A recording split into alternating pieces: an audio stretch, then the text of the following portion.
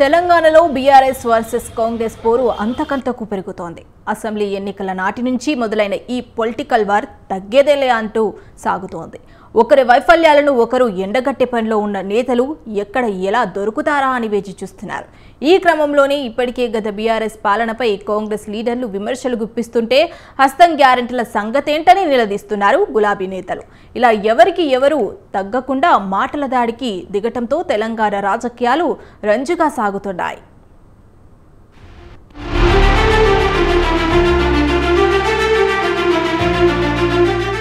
అధికారం కోల్పోయి ప్రతిపక్ష పార్టీకి పరిమితమైన గులాబీ దళం ఎన్నికల హామీలపై కాంగ్రెస్ను టార్గెట్ చేస్తోంది. ఏ అంశంలో ఎక్కడ దొరుకుతారా అని చూస్తున్న గులాబీ నేతలు మొన్నటి వరకు రైతు రుణమాఫీపై విరుచుకుపడ్డారు. సవాళ్ళు ప్రతి సవాళ్ళతో రాజకీయం రక్తి కట్టింది.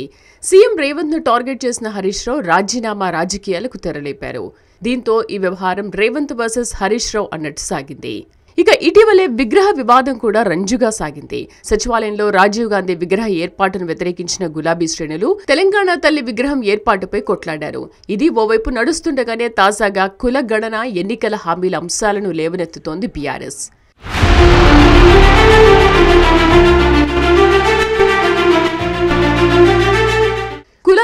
రేవంత్ సర్కార్కు డెడ్ లైన్ పెట్టారు కేటీఆర్. మాటలకు పరిమితం కాకుండా వెంటనే ఈ ప్రక్రియను చేపట్టాలని డిమాండ్ చేసిన ఆయన నవంబర్ పదిలోగా నలభై రెండు శాతం రిజర్వేషన్ల అంశాన్ని తేల్చాలన్నారు.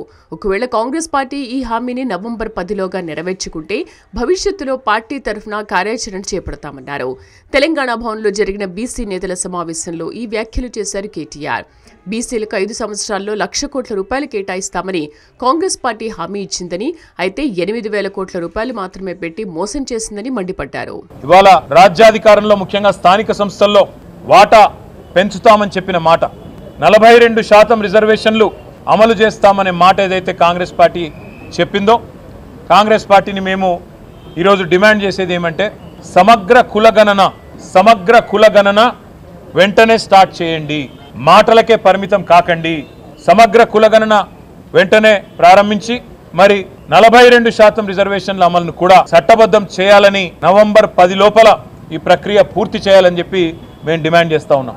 దాంతోపాటు కాంగ్రెస్ పార్టీ ఆనాడు ఇచ్చిన మాట లక్ష కోట్ల బడ్జెట్ పెడతాం బీసీలకు అని చెప్పిన మాట మొదటి సంవత్సరంలో తప్పారు. కేవలం ఎనిమిది వేల కోట్లకు మాత్రమే పరిమితమైనారు. మేము ఈరోజు డిమాండ్ చేస్తా ఉన్నాం. మరి రాబోయే ఫిబ్రవరి మార్చిలో పెట్టే బడ్జెట్లో ఇరవై ఐదు నుంచి ముప్పై వేలకు తగ్గకుండా బలహీన వర్గాలకు బడ్జెట్ పెట్టాలి.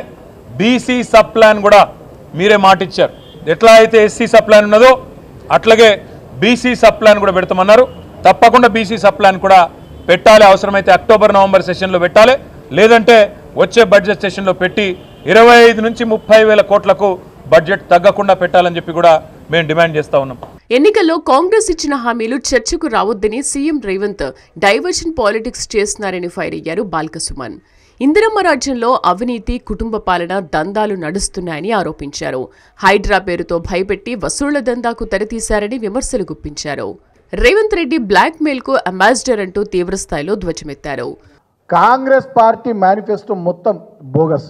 నేను ఇందాక చెప్పినటువంటి ఈ ఆరు గ్యారంటీలు కానీ తర్వాత ఈ మేనిఫెస్టో కానీ ఇవి రెండు కూడా బోగస్ దీంట్లో ఒక్కటంటే ఒక్కటి ఒక్క పని అంటే ఒక్క పని కూడా రేవంత్ రెడ్డి చేయలేడు. కాబట్టి దానికోసమే ఆయన ఏం చేస్తున్నాడంటే ఈ మేనిఫెస్టో మీద ఆరు గ్యారంటీల మీద నాలుగు వందల ఇరవై హామీల మీద చర్చ జరగకుండా చర్చ మొత్తం ఈ రాష్ట్రంలో డైవర్ట్ కావాలి.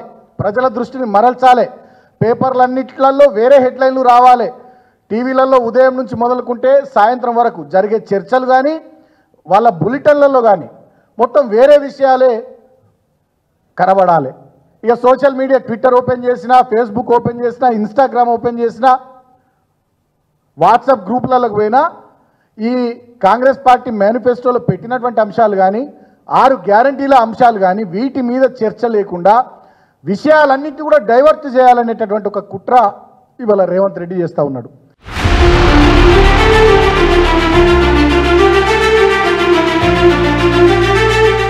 మొత్తానికి ఆరు గ్యారెంటీలు అంటూ అధికారంలోకి వచ్చిన హస్తం నేతలకు అవే హామీలను టార్గెట్ చేసుకుని విరుచుకుపడుతోంది బీఆర్ఎస్. రైతు రుణమాఫీ మంటలు ఆరకముందే కులగణనపై డెడ్లైన్ విధించింది. అంతేకాదు రేవంత్ సర్కార్ ప్రతిష్టాత్మకంగా తీసుకొచ్చిన హైడ్రా వెనుక వసూళ్ళ దందా సాగుతోందని ఆరోపిస్తోంది. అయితే గులాబీ నేతల వ్యాఖ్యలకు హస్తం కౌంటర్ అటాక్తో ఇరు పార్టీల మధ్య డైలాగ్ వార్ సాగుతోంది.